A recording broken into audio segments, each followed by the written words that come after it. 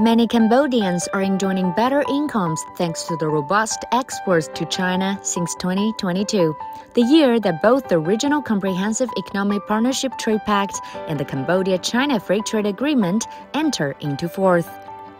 Local workers at the Zhongbao Food Science and Technology Corporation Limited receive a better pay after the factory has received a significant rise in purchase orders from China. ចូលចិត្តវានិយាយទៅវាស្រួលវាអត់ពិបាកទៅប្រទេសចិនខ្ញុំគិតថាល្អគឺថាយើងធ្វើការយើងចិត្តល្អយើងចិត្តស្អាតទៅបានគេមកចូលចិត្តខាងយើងគេគ្រប់គ្រងខាងយើងហើយគេមកទិញខាងយើងចំណេញខាងយើងចូលការងារស្រួលអាចរកចំណូលបានច្រើនល្អបងព្រោះអាចជួយដល់ប្រជាជនបានច្រើន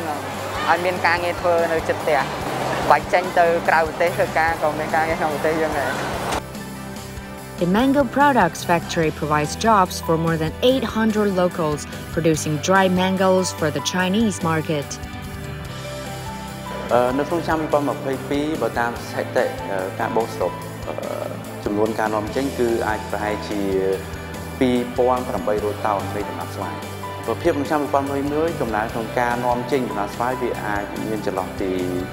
10ទៅ20%យោងទៅតាមតម្រូវការទីផ្សារទីផ្សារនៅក្នុងស្រុកចិនណា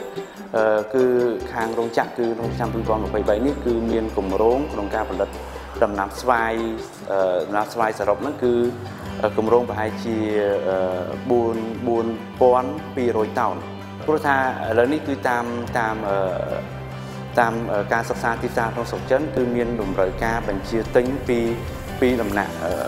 ឈ្មួញផ្សេងៗនៅក្នុងស្រុកចិនហ្នឹងគឺមានការកើនឡើងខ្លាំងមែនទែន The factory attributed the export growth to the RCEP and the CCFTA.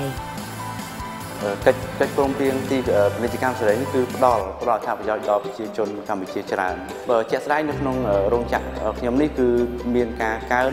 ឡើងនៃការបញ្ជាទិញ ដំណាប់ស្វាយហើយប្រជាជននៅក្នុងតំបន់គឺគាត់មានការងារធ្វើច្រើនភាពជាដៃគូ